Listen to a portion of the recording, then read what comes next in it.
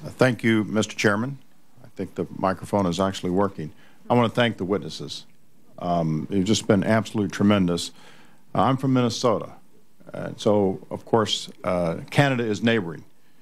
And uh, we, of course, see anecdotal evidence all the time of Canadians um, coming to Minnesota because we actually have a Mayo Clinic there, too. I, am not sure why you traveled all the way to Arizona, um, uh, Sean. Okay, that's all right. I, I uh, but, but we have a Mayo Clinic in Rochester, Minnesota that is world famous.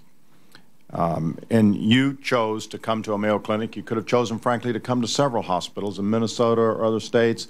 And Mr. Baker has given us examples of hospitals around the country where Canadians have gone. Uh, you, you did that because you needed to, you had to, and you could. You could do it. I, I think that the, the phrase that uh, I think it was um, Mr. Baker said that uh, the U.S. is the Canadian system of last resort. It's a place you can go. And so I'll start with you, um, uh, Ms. Uh, Robertson Holmes, if I could. If the United States were to adopt a system like Canada has, with a government run health plan that operates like that, do you think that the Mayo Clinic in Rochester and other would still be able to provide services for you and other Canadians?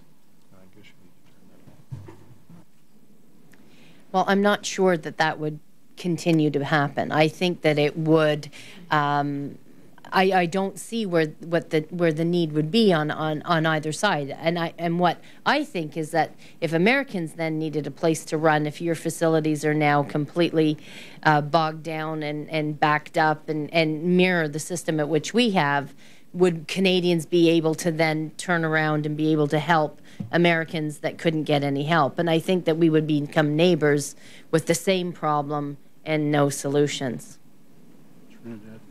Thank you. I'm, I'm not sure how the microphone switching back and forth is going to work, but I think this one is working again now. Uh, Mr. Uh, Mr. Baker, uh, you did leave us with some thoughtful and, and terrifying quotes. Um, the the quote of the doctor to Lynn of quote, "You have not yet suffered long enough." I wonder how one determines when one has suffered long enough. And of course, we, I think, are very much afraid that if you have a, a bureaucracy that's making that determination, that you, you will have um, many people suffering for a very, very long time. Let me uh, move very quickly. Uh, again, Mr. Baker, you are, you're providing a service. You're entrepreneurial. You've got a program here. You've seen a need and, and Canadians are actually being referred to you by concerned physicians that say, I, have got to get help for my patient. That's so, correct. And so you're providing a service. And, and I've heard, as we're trying to catch up on what the Canadian system does, that there, the Canadian government may actually try to create something that would compete with your services. Is, is well, right? Uh, if they did create something, I, have said many times that I feel blessed in, in operating my business that my major competitor is the government.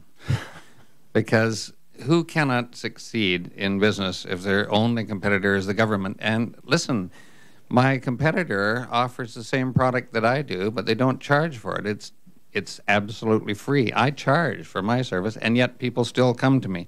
What kind of an indictment is that of our system if people willingly pay for a, a product, a service that's free in their own. Well, I think it's a pretty clear indictment. I just uh, have a, a, comment and perhaps uh, one more question so we can move on. I've got a lot of colleagues that are waiting here. We've seen uh, clearly when we were marking up the legislation and education and labor and, and talking to our colleagues and talking to uh, businesses back in Minnesota that the small businesses, the small business owners and, and, and employees there and those who have started to look at this uh, realize that, that the bill payer here is going to be um, overwhelmingly placed in the hands of, of, small businesses. And so, Ms. Kerrigan, you, you gave some very good testimony. Uh, what, what is it that you would say from the small business perspective? What is it small businesses really want to happen here? What, what do they want in the way of fixing health care? Well, it's very obvious. They want their they want their health insurance costs to go down or at least to stabilize. Um, those who don't provide insurance, either for themselves or their uh, employees, want access to affordable coverage. Um, and, and I think there's, there are solutions uh, that have moved through the Congress previously and that have been proposed that will help them do that. I mean, certainly there um, um, uh, is, is the pooling um, uh, that has moved uh, through the Congress previously that allows small business owners to pool as a group and, and leverage their numbers so that they can negotiate better prices and, and uh, have more choice of plans. Um, there is, um, on the tax side, there are tax credits that can be offered, I mean, both to individuals and to business owners. Um, the uh, tax code can be fixed for the self-employed with respect to um, tax parity. Um, we can open up uh, uh, the um, health insurance market on a nationwide basis. Um, you know, small business owners in some states are just locked into the insurance market in their states, and it's very, very expensive in some states, in New York and New Jersey, et cetera, where they have excessive mandates, and that um, uh, you know is is a barrier to coverage for many business owners. So certainly having a nationwide market, a true nationwide marketplace, not something run by the government. Um, I think um, that makes total sense. More choice, uh, more competition, and I just think some very simple, targeted reforms uh, without taking over the whole system and making small business owners pay for it. So.